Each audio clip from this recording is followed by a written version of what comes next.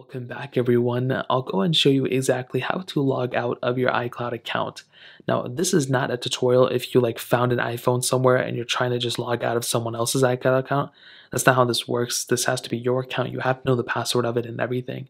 So if you're the rightful owner of that iCloud account, all you want to do is make your way over to your settings app just like so.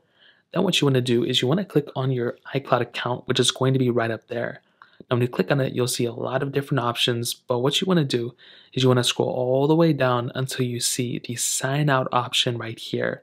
Now what this sign out option does is it's going to go ahead and sign out of your iCloud account from this specific phone. Now you can see I have a ton of other devices here that I've owned throughout my life and it's not going to sign out of all of these. I think there is an option for you to do that if you want to.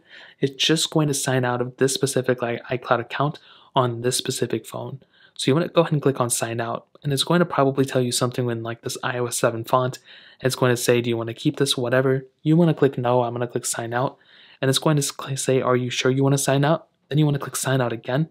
And what it's going to do at sooner than later at some point, it's going to go ahead and either require you for a password, or in this case, it actually didn't. And it's actually very crazy that it didn't require me a password, you know, so I'll go ahead and click sign in again. And you can see it actually fully signed out. Now, this is one of two things, and the reason why this probably happened is mostly because the settings within this iPhone actually probably don't require me to have, you know, that type of thing set up if I input my Face ID or my passcode.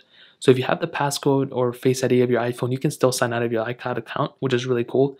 In this specific case, it didn't ask me for a password, which is actually pretty crazy. So that's essentially it. That's how you can sign out of your iCloud account on your iPhone. If you guys have any other questions or anything, let me know in the comment section below. Hit the like button, that would mean so much, but definitely hit that subscribe button.